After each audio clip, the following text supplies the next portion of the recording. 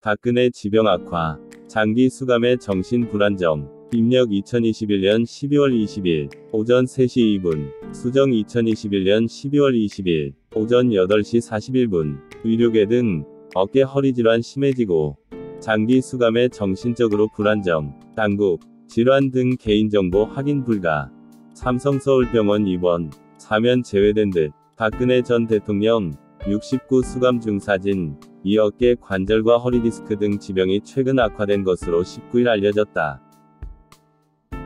법조계와 의료계에 따르면 지난달 22일부터 삼성서울병원에 입원 중인 박 전 대통령은 기존의 수술을 받은 어깨와 허리 질환 등으로 인한 지속적인 통증을 호소하고 있는 것으로 전해졌다. 검찰 관계자는 건강 상태가 상당히 안 좋다. 고 말했다. 박 전 대통령은 장기간 이어진 수감 생활로 인해 정신적으로 불안정한 상태인 것으로 전해졌다.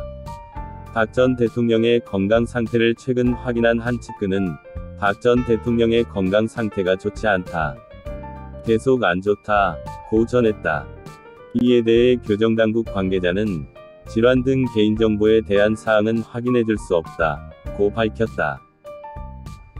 이 관계자는 또 박 전 대통령이 기존의 진료를 받아온 서울성모병원이 아닌 삼성서울병원에 입원한 것에 대해 주치의와 환자의 합의로 병원을 옮긴 것이라고 전했다.